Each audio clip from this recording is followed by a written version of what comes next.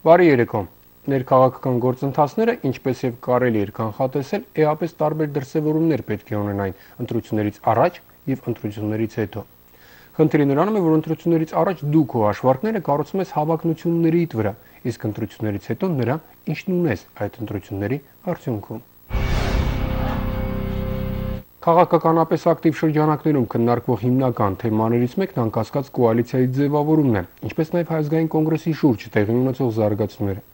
Կոալիցիայի շուրջ ինտրիգը հասկանալի պատճառներով պայմանավորված է հանրապետական Բարգավաճ Հայաստան վերջին շրջանի ոչ այնքան միանշանակ հարաբերություններով, ինչի դրսևորումներն առավել վառ արտահայտվեցին նախընտրական վերջին հատվածում եւ հատկապես ընտրությունների օրը։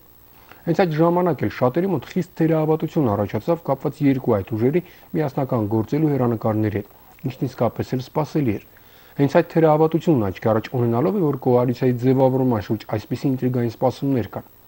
Ընդ որում գաղտնիք չէ, որ կոալիցիան, որը ձևավորվել է, իսկ այդ ամեն դեպքում քաղաքական ուժերի որևէ համադրությամբ կձևավորվի, պետք է լինի քաղաքական այն հենարանը, որը կսատարի նախագահ Սարգսյանին հաջորդ տարի կայանալիք նախագահական ընտրություններում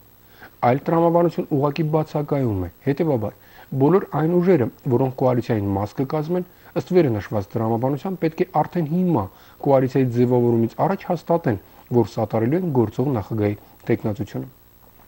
Այս առումով կոալիցիոն ինտրիգն առավել սրվեց, մասնավորապես երբ նախկին արտգործնախարար Վարդան Օսկանյանը լրատվամիջոցներին ասաց, թե չի բացառում, որ հաջորդ ընտրություններին կարող է առաջադրվել որպես նախագահի տեխնացու։ Ճիշտ է, դրանից մի քանի օր անց նույն Օսկանյանը բացառեց իր մասնակցությունը նախագահական ընտրություններին եւ այդպես էլ անհայտ մնաց թե ինչով էր պայմանավորված կարծիքների կայծակնային այդ փոփոխությունը։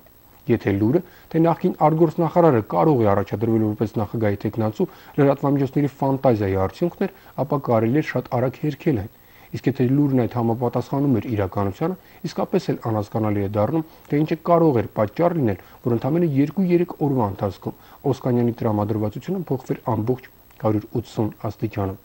Իսկ միգուցե Օսկանյանին որպես բարի խորհուրդ հուշել են, որ չարժե ձեր քաշեք այդ գաղափարից։ Только вы, дорогой товарищ, из Парижа плюньте на все на это. Как плюнуть? Как же вам плюнуть-то? Слюной.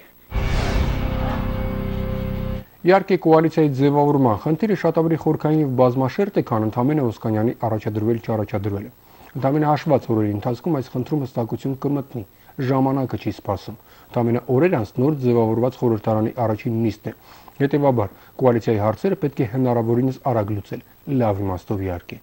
ու եթե քաղաքական հոտառություն ունեցողները կոալիցիայի պարագայում դրական զարգացումներ են ակնկալում, գրեթե վստահ լինելով, որ այն կձևավորվի նախքին հանրապետական Բարգավաճ Հայաստան օրինաց երկիր ձևաչափով, ապա հեչ դրական չեն սպասումները հայազգային կոնգրեսի շուրջ տեղի ունեցող զարգացումների պարագայում։ Ինչպես արդեն գիտեք, կոնգրեսից ամենայն հավանականությամբ դուրս կգա հանրապետություն կուսակցությունը։ Այդ քայլի հավանականության մասին օրեր առաջ հայտարարել է կուսակցության առաջնորդ Արամ Սարգսյանը։ Մի քանի օր առաջ կոնգրեսից դուրս եկավ քաղաքական այդ կառույցի Գյումրիի մարզային գրասենյակի ղեկավարը։ Գրեթե նույն ժամանակ հայտնի դարձավ, որ կոնգրեսից ամենայն հավանականությամբ դուրս կգա նաև Հայաստանի լիբերալ կուսակցությունը Հովանես Հովանեսյանի գլխավորությամբ։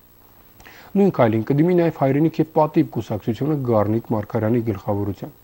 Առօրքան հասկանալի է, որ կոնգրեսից հերացողների այս շքերթը հենց այնպես տեղի չի ունենում եւ շատ խորքային պատճառների հետևանքին։ Ըստ էության, զարգացումների նման ընթացքը նույնպես կանխատեսելի էր, քանի որ կոնգրեսի մաս կազմող քաղաքական ուժերի եւ գործիչների հիմնական մասը հասկանալի պատճառներով որոշակի ակնկալիքներ ունեին, որոնց հիմնական մասը կապված էր ընտրությունների արդյունքների հետ։ Բայց հիմա, երբ արդեն པարզ է, որ կոնգրեսը խորհրդարան է գնում նվազագույն կազմով 7 հոգով, իսկ քաղաքական այդ կառույցի մեջ մտնող միայն կուսակցությունների թիվն է շուրջի 2 անգամ ավելի, ել չեմ խոսում քաղաքական գործիչների քանակի մասին, հասկանալի է դառնում, որ խաղից դուրս մնացած քաղաքական ուժերի եւ գործիչների համար կոնգրեսից դուրս գալը որոշակի իմաստով երևի թե սпасելի քայլ էր։ Իհարկե, այլ է Արամ Սարգսյանի պարագան, քանի որ այս գործիչը մինչև ընտրություններն էր հայտարարել, որ հրաժարվելու իր մանդատից եւ ինձ այդպես էլ վարվեց։ Հետևաբար, կոնգրեսից դուրս գալու նրա պատճառները երևի թե կապ չունեն, ասենք, մանդատի ակնկալիքների հետ։ Ամեն դեպքում այն, որ կոնգրեսի շուրջ խմորումները բավական լուրջ են, կասկածից վեր է։ Գնում են մարդիկ։ И тут Пух неожиданно вспомнил об одном важном деле. Да, нам пора. Мы, конечно, могли бы еще немного посидеть. Нет, по правде сказать, я и сам э, собирался уходить. А, ну хорошо. Тогда мы пошли. До свидания. Всего хорошего. Спасибо. Что вы? Нет, что Ну как же, как же, будьте здоровы. Будьте здоровы. До свидания. До свидания. Спасибо, большое спасибо. Очень рад. Ну, мы пойдем. Չնայած մյուս կողմից հենց կոնգրեսի համար այս զարգացումները միգուցե եւ դրական են, քան որ այսպիսով քաղաքական այդ կառույցը որոշ իմաստով կազատվի պատեհապաշտներից ու ոչ կայուն գաղափարակիցներից։ Եվ այս առումով միգուցե կոնգրեսը կթուլանա, բայց գաղափարական առումով նաև ավելի մոնոլիտ կդառնա։ Ամեն դեպքում ներքաղաքական կյանքում այս փուլում բավական հետաքրքիր զարգացումներ են սպասվում։ Զարգացումներ, որոնք սպասելի են, բայց նաև զարգացումներ, որոնք կարող են անսպասելի շրջադարձեր նույնպես ունենալ։ Սպասենք, տեսնենք ինչ կլինի։ Առողջ եղեք։